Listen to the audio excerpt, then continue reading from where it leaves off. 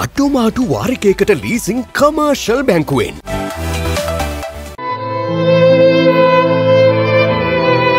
එක්දහස් නවසය හතලිස් අටේ ජූනි මස විසියෙක් වනදා රුක්මන් සේනානායක මෙලොව එලිය තුටුපේ අපේ රටේ ජාතියේ පියා ලෙස සලකන දිය සේනානායකයන්ගේ මුණපුරා ලෙසයි. ඔහුගේ පියා රොබට් පරාක්‍රම සේනානායක වූ අතර මව ස්වර්ණා නීලා මැතිනියයි. රුක්මන් සේනානායක ශාන්ත බ්‍රිජට් කන්‍යාරාමෙන් මූලික අධ්‍යාපනය ලබා තිබෙනවා.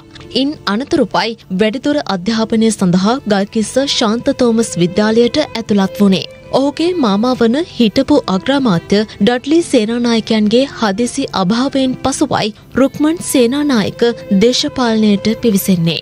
ඒ එක්දහස් නවසය හැත්ත තුන වසරේ පැවති මැතිවරණයේදී දැතිකම ආසනය ජයග්‍රහණය කරමිනුයි.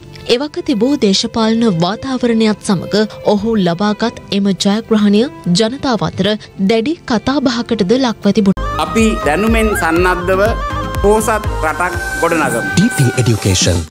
එක්දහස් නවසය අනු හතරේ පැවති පාර්ලිමේන්තු මැතිවරණයේදී පොළොන්නරුව දිස්ත්‍රික්කේ වැඩිම චන්ද ලබා ගනිමින් ඔහු පාර්ලිමේන්තුවට තේරීපත් වුණා. එක්සත් ජාතික පක්ෂයේ සභහපති උපනායක වැනි ඉහළ තනතුරු දැරු රුක්මන් සේනානායක චන්ද්‍රිකා කුමාරතුංග රජය විසිරුවා හැරීමෙන් පසු දේශපාලනයෙන් සමුගත්තා. එලෙස දේශපාලන ගමනට සමුදුන් ඔහු පසුගේදා සිය ජීවිතයටද සමුදුන්නා.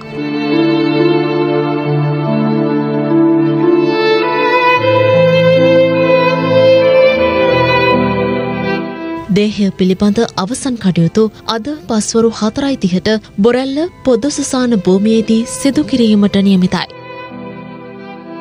රටේ ලෝකෙ සිදුවන උණුසුම්පුව දැනගන්න සියත නිවස් YouTube චැනල් එක අදම සබස්ක්‍රයිබ් කරන්න.